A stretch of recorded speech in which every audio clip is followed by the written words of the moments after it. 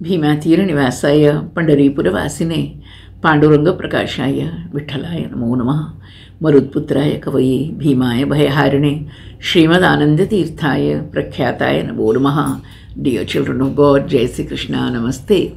It's the 113th day since the nationwide lockdown started. A topic comes to my mind today titled Apologies After Sunset. Before going to bed, let's halt for a while and review quickly the events of the day and our response to those events too. Let us ask God's forgiveness for our impulsiveness, our callousness, our digital reactions to men and matters.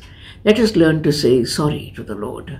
First, for not remembering Him at waking up time. Second, then for not being calm as we get up, but agitated because one more day has begun. Then, for not thanking Him for protecting us from all evil and dangers through the night, when we slept oblivious of what was happening. Then, for screaming at our servants who were already sad during the pandemic. For some private reason, we have never cared to ask or inquire. Next, for making a big fuss about tea and coffee, more sugar or less sugar. Next, for the delay in our bath due to some phone call, known, unknown, casual, meaningful. Next, for snapping at people because we are at heart impatient, not they. Next, for not having the courtesy to say, I'll call you later in the day. Dear, forgive me. That would have made a heaven of a difference to us and the caller.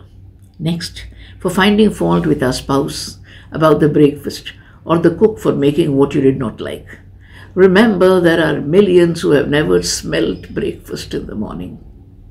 Next, apology for the digital prayer we offer to the Lord, not thanking Him for what He has given, but grumbling about the present situation in which the entire world is placed.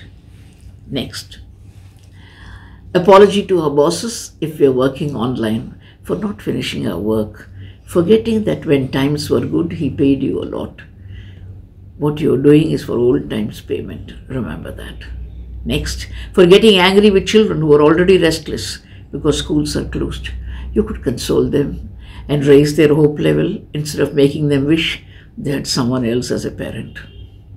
Next, for not responding to a poor friend who called for help.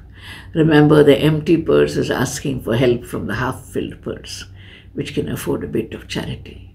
Next, for eating more than necessary out of irritation, not appetite. Next, for spending hours and days on silly entertainment and feeling more miserable than before.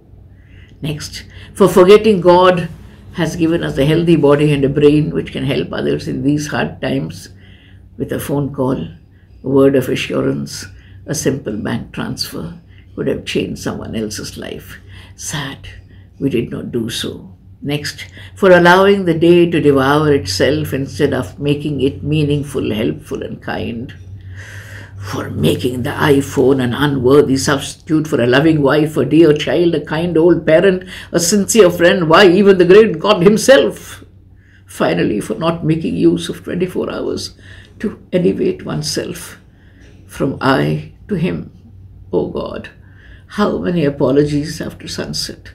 How can one sleep in peace? भूले भुलैया में मुझको भुला कर मानव तू कहाँ चला? पूछे जो ठाकुर, जवाब क्या देगा? मानव तू कहाँ चला? मानव तू कहाँ चला? मानव तू कहाँ चला? Thank you